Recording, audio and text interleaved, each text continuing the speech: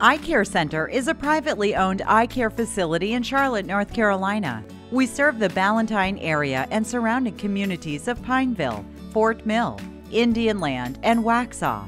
We are proud to have been serving our community since 2007.